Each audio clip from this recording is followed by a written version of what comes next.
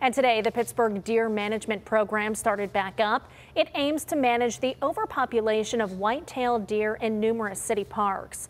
As KDKA's Chilekasi Adele shows us, the response from people going to these parks depends on who you ask. All right, it's day one of the resumption of the deer management program here in the city of Pittsburgh. Signs like this one are posted up at parks like this one in Frick Park, but for some, opinions are mixed. It didn't take long for some archers to take down some doe. They generally don't do it during the day. Mark DeGana saw some of them last year. He doesn't have any issues with it. I've seen a few of them hunting. They've been professional, they've been safe, they've been considerate. 50 archers were selected to take part, and the program is also expanding this year, adding Schenley, Highland, and Emerald View parks to Frick and Riverview parks.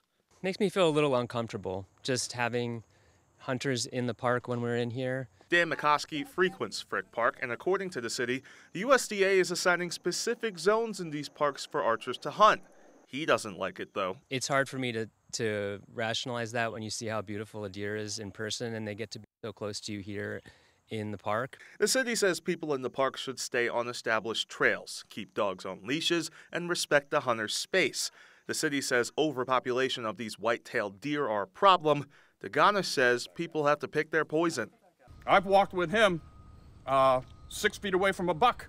Buck wouldn't move. He just sat there with nerve. And so, what are you going to do? Well, he's a believer that this way may be the best way.